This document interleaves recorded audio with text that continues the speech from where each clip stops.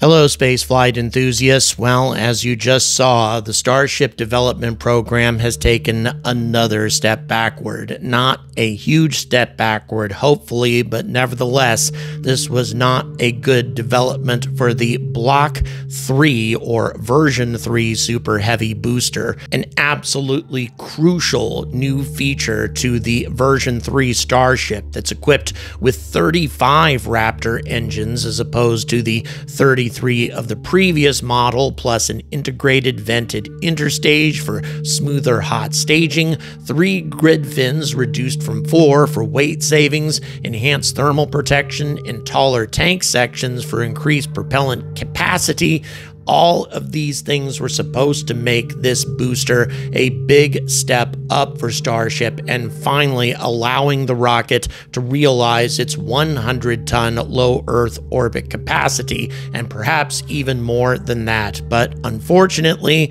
on November 21st, in the middle of the night, the B 18 suffered a test anomaly, the first cryogenic proof test that it went through. What does this mean for the future of the program and especially for HLS and NASA's ambitions of landing on the moon by 2028? We're going to find out right now.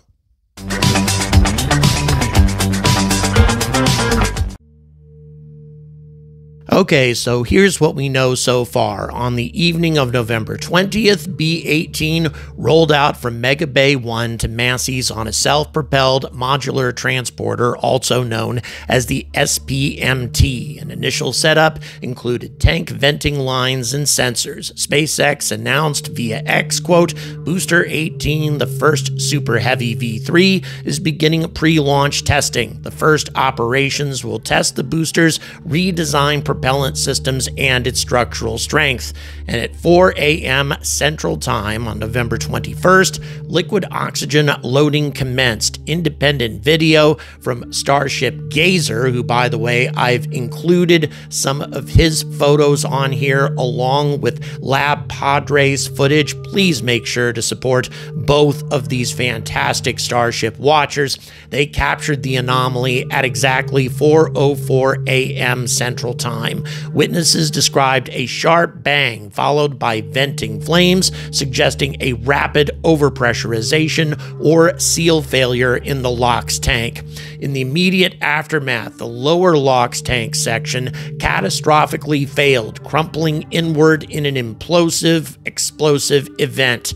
Flames and vapor clouds engulfed the base, but the test stand sustained minimal damage, or at least it appeared to. There were no injuries, and the site was evacuated per protocol. B 18 was stabilized and rolled back to Mega Bay 1 for assessment. The reports point to a propellant system anomaly, likely a faulty cryogenic valve or weld imperfection in the LOX tank dome, causing uncontrolled pressure buildup during chill down.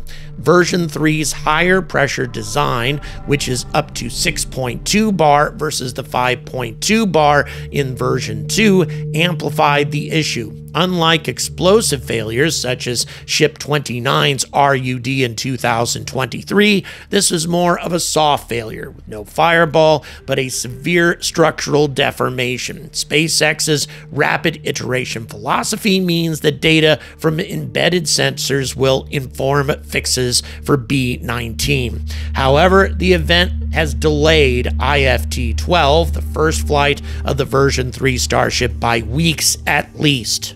Now, of course, we don't have any official explanation for the anomaly, but preliminary speculation points to a valve, weld, or seal failure, as I suggested before, causing uncontrolled pressure buildup. And once again, the version 3 tanks have more pressure being applied to them than the earlier tanks in order to handle more propellant, and possible involvement of new version 3 features, such as the large internal downcomer or transfer tube for propellant flow, side mounted header tanks, or what are called COPVs, composite overwrapped pressure vessels, under the chines. The downcomer appears intact and likely the only thing keeping the booster upright post failure.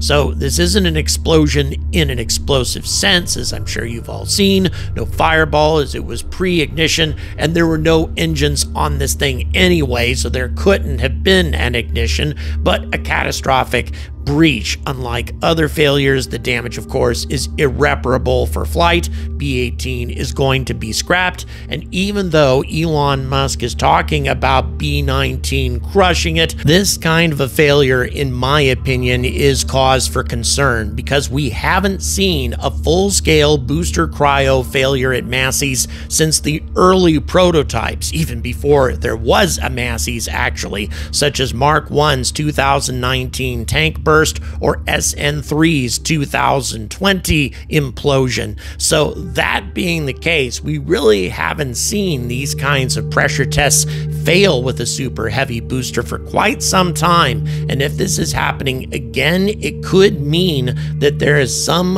underestimating going on in terms of the amount of pressure that this booster is going to be subjected to with all of the additional propellant or some of the propulsion system modifications it could be a design flaw rather than some kind of failed valve. Hopefully, it's just a single component, a single valve that was the problem, and not an overall structural problem. That being the case, though, there has to be an investigation. SpaceX must conduct a mishap investigation analyzing sensor data from the test, and the FAA will review it for launch licensing Past ground anomalies have delayed flights by one to 10 months or so, so we need to expect a four to eight week hold for clearance. Keep in mind, according to the recent leaked documentation that SpaceX delivered to NASA, the anticipation is, is that the version 3 Starship will be ready to conduct a low Earth orbit propellant transfer test, a refueling test that is, by the summer of 2026. An incident like this is going to make a feat like that a very difficult prospect at best, and those kinds of delays will lead to a delay of Starship's eventual unmanned landing test on the moon, which was supposed to take place in the middle of 2027, according to updated documents and according to updated delays, eventually leading to a human rated landing in September of 2028. And this anomaly is going to make that already incredibly difficult to achieve schedule even more difficult. Again, in my opinion, practically impossible. If we are going to beat China to the moon, I think we need another alternative. And that's something I've been saying for quite some time as promising as Starship is, and as much as I think that this super rocket will eventually allow us to put large numbers of personnel and huge amounts of payload onto the surface of the moon, supporting a substantial lunar base, if not a lunar city, those are the kinds of objectives for the long term. For the short term, we need to find something else. Thank you very much for watching. Please don't forget to like and subscribe, and also please consider supporting this channel on Patreon or with a piece of merchandise. Details in the description. Until next time, stay angry about space.